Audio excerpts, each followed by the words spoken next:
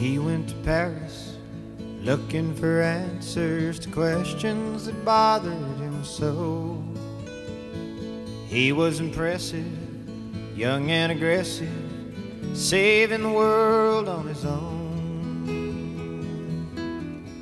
But the warm summer breezes, the French wines and cheeses, put his ambition at bay.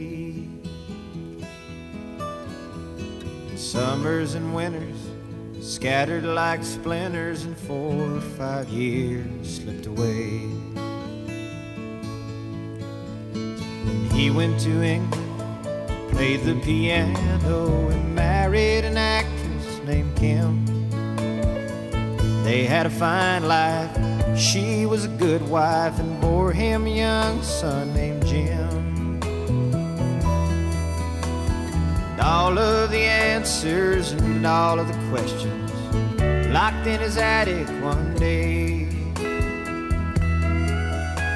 Cause he liked quiet, clean country living, and 20 more years slipped away.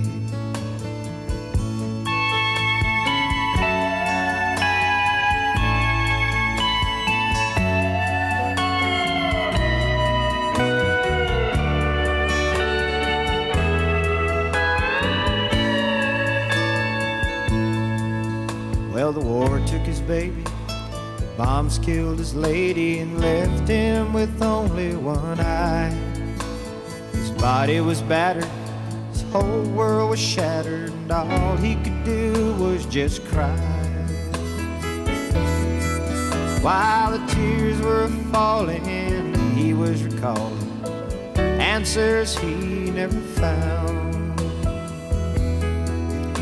So he hopped on a freighter skidded the ocean and left England without a sound.